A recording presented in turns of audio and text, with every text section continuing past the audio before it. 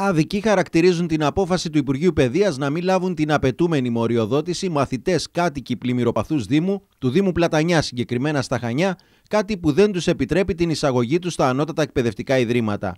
Πρόκειται για 7 μαθητές οι οποίοι μένουν στον Αλικιανό και φοιτούσαν στο ΕΠΑΛ στα Χανιά. Φοιτούσαμε στα, στα Χανιά γιατί δεν υπάρχει ΕΠΑΛ στο Δήμο Πλατανιά ημερήσιο.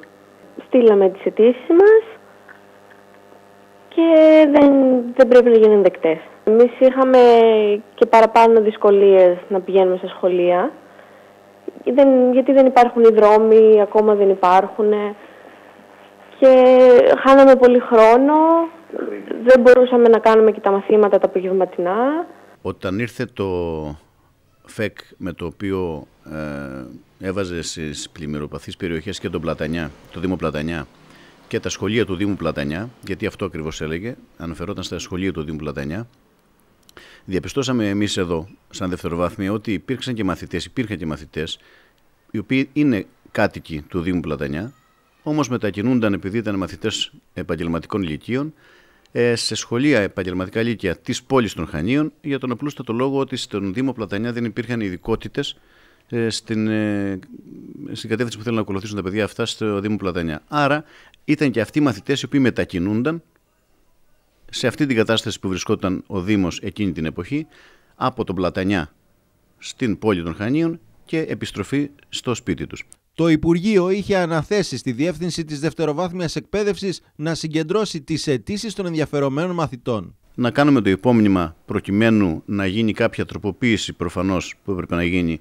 για την ε, ένταξη των μαθητών αυτών ε, στην κατηγορία της ρύθμισης ε, της εισαγωγής στα πανεπιστήμια με τον τρόπο που έλεγε το ΦΕΚ.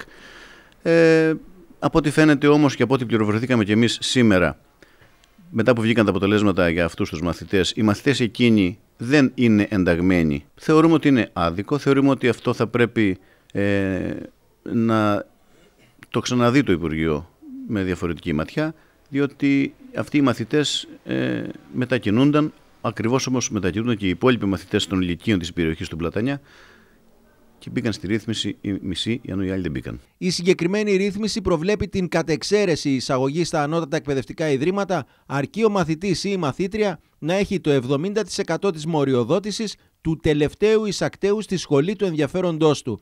Κάποιοι δεν μπήκαν γιατί δεν έπιασαν το 70% και κάποιοι άλλοι γιατί δεν εντάχθηκαν στη ρύθμιση του Υπουργείου. Στο πλαίσιο της ισονομίας και της ίσης μεταχείρισης των μαθητών που μας αφορά σαν δευτεροβάθμια Χανίων, είχαμε κάνει το υπόμνημα και σε συνεργασία με το Δήμο Πλατανιά.